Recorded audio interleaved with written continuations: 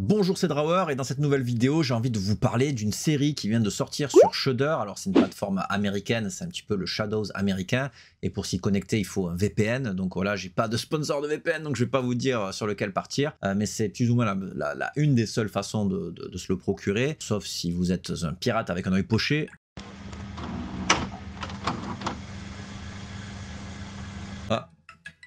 Qui me parle Oui, allô? Wow. Une IA qui me dit ajoutez-moi sur WhatsApp, quoi. C'est un truc de ouf, ça. C'est mon premier appel intrusif et spam euh, d'une IA. Je, dénonce tout de suite. Je suis français, je, dénonce.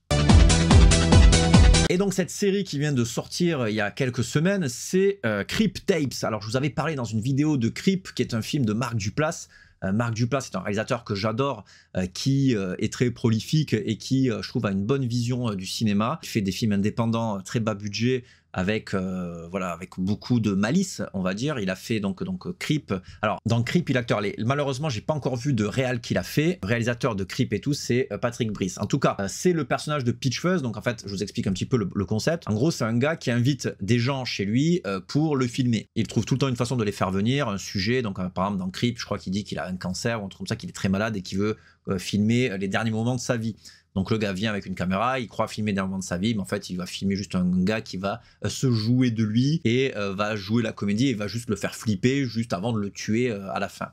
Et donc dans Creep Tapes, alors il y a eu Creep 2 aussi, donc c'est un peu le même concept mais avec un, autre personnage. Je crois que c'est une meuf qui vient dans le 2. Je sais plus, ça fait longtemps que je l'ai pas vu le 2. Euh... Attends, on va regarder parce que je veux pas dire une connerie. Parce que je vous vois venir dans les commentaires après me dire eh, c'était pas ça. Alors oui, il me semble que dans Creep 2 c'est une meuf, hein, j'avais bien raison. Faudrait que je le revoie du coup parce que je n'ai plus trop de souvenirs. Bon bref, on s'en fout. Là je suis en train de vous parler de Creep Tapes qui euh, en fait est une série. Euh, chaque épisode est indépendant, donc c'est une mini-série on peut dire, où on retrouve Marc Duplass qui reprend son rôle, Patrick Brice qui est toujours derrière la caméra en tant que réalisateur. C'est un gars qui, donc, comme je dis, fait venir des gens chez lui et puis il va euh, donc les filmer. It's great, right? Et en fait, les gars vont filmer plus ou moins leur propre mort parce qu'à la fin, ils font souvent tomber la caméra et puis on le voit en train de tuer euh, la personne. Dans Crypt Tapes, en fait, euh, on s'aperçoit qu'il a plusieurs cassettes comme ça et qu'il a gardé tous les enregistrements de tous les gens qu'il a tués. Donc le générique est tout à fait formidable parce qu'on voit toutes les cassettes avec les prénoms des gens qu'il a tués et chaque épisode porte le prénom d'une des victimes. Euh, d'ailleurs, ça m'a fait marrer parce qu'il y a une des victimes qui a le prénom de mon fils, donc euh, enfin, ça m'a fait marrer, ça m'a fait grincer des dents, mais voilà. dans les épisodes, donc c'est toujours un petit peu la même architecture. On voit le mec qui arrive avec sa caméra, il nous explique pourquoi il filme, il filme et petit à petit, il devient de plus en plus creepy, quoi, voilà, de plus en plus effrayant. À chaque fois, il y a un concept, à chaque fois, il joue un rôle. Dans un épisode, il va jouer euh, un, espèce de prêtre vampire, dans un, il va jouer un parachutiste, dans un autre, il va faire genre, c'est euh, un enquêteur. Enfin voilà, à chaque fois, il se trouve un rôle et c'est tellement marrant. Donc voilà, donc c'est un petit peu comédie phone footage. Donc c'est du phone footage parce que c'est des caméras, c'est des cassettes qu'on retrouve. Et je trouve que le concept est hyper bien utilisé, c'est hyper malin. Je trouve qu'il y a une tension énorme. Mais tout repose sur Marc Duplass, qui est un acteur franchement incroyable. That scared the shit out of me. That was convincing, man.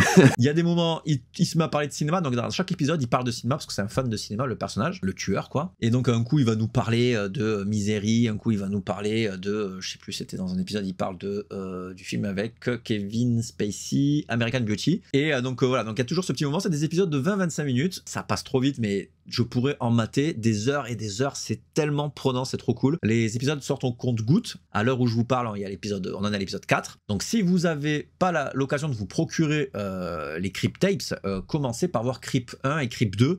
Euh, ça vous fait déjà deux longs métrages à voir qui, sont dans l'esprit de ce personnage de Peach Fuzz, qui est un serial killer. donc en fait, en gros, il met un masque de loup qui se fait appeler Peach Fuzz dès qu'il met son masque de loup. Et quand il met son masque de loup, il se met à tuer quoi. Donc c'est une espèce d'alter ego. Je trouve ça hyper intéressant parce que bah, c'est très ancré dans le réel et donc du coup ça pourrait arriver à n'importe qui, n'importe qui pourrait se faire avoir. Euh, tu peux aller filmer, tu te dis je vais te donner 1000 balles, pour 1000 balles tu fais ah, j'ai besoin d'argent donc euh, j'y vais et tout et tu te retrouves au milieu des bois avec un, avec un, no-name et c'est trop bien quoi. Donc voilà, donc Creep de Marc Duplass, en plus j'avais vu une vidéo, le mec est hyper intéressant, le réalisateur est hyper, hyper intéressant. Il donne des conseils, donc il y a une vidéo de Netflix, je crois, qu'on peut retrouver sur YouTube, où il dit pour arriver à être productif, euh, déjà tu te lèves, tu restes pas en pyjama, tu t'habilles. Euh, ensuite, ensuite tu travailles avec des gens qui donnent leur avis euh, réel et sans hypocrisie aucune afin de, voir quels sont les défauts, sois pas tout seul euh, sur un projet, n'hésite pas à, t'inspirer des autres, enfin tu vois, il y a plein de conseils comme ça, euh, entoure-toi des bonnes personnes, voilà, donc c'est important de s'entourer de, personnes bienveillantes. Et, et, donc voilà, donc c'est un mec qui est hyper productif, mais qui arrive à produire euh, des choses malines et avec peu de moyens. C'est un mec tout à fait passionnant. Moi, je trouve que on parle pas assez de Marc Duplass. Euh, il a une maison de prod qui s'appelle les Duplass Brothers, je crois. Il a de multiples casquettes. Et donc, comme je disais, il est auteur, il est réalisateur, il est scénariste, il est même musicien. Et en fait, il a participé à un courant qui s'appelle le Mumblecore. En gros, c'est euh, un courant de, vidéastes amateurs euh, qui font des vidéos euh, centrées sur des, des, dialogues hyper réalistes. Donc, le côté hyper réaliste dans un film d'horreur, bah, fatalement, ça fonctionne et on comprend pourquoi. Donc, c'est un réalisateur très inspirant parce qu'il fait un peu du do-it-yourself et puis il encourage tous les jeunes cinéastes à se lancer et de pas attendre d'avoir des gros moyens. Juste, voilà, tu as une caméra qui filme, bah, tu filmes, quoi.